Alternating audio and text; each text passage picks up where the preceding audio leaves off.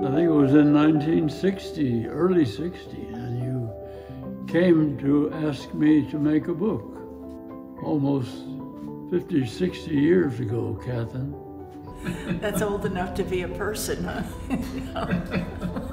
Somebody who was just born then would be 56.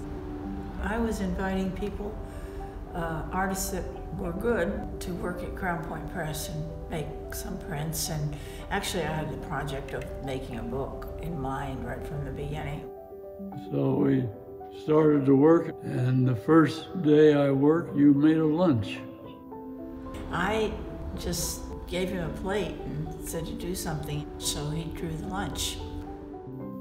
We made some, I don't know, 25 or 30 etchings, and that one lunch was selected for the book. It was called Delights. Well, I knew very little about etching, and you essentially taught me and let me learn on the job. I learned a lot just seeing, just having you around, you know. So, just about art and how people, artists, real artists, approach it things like that.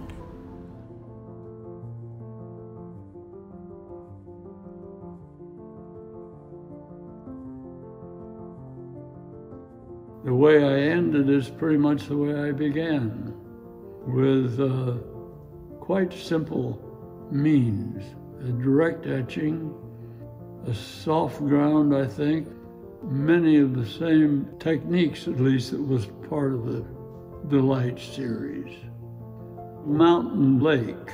That's on a recent, that, that's from 2019. That has a kind of split down its middle and a reflection in a lake.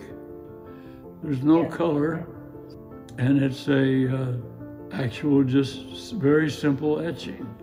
It was a series of different kinds of uses of medium, but all landscapes. That was the last project which we worked on. Well, I hope we can have another one whenever you're ready. yeah. yeah. Keep on trucking. I've been lucky. I always felt that way. Great thing to be to be doing. Really creating something, and this is a very, very interesting, exciting thing to do.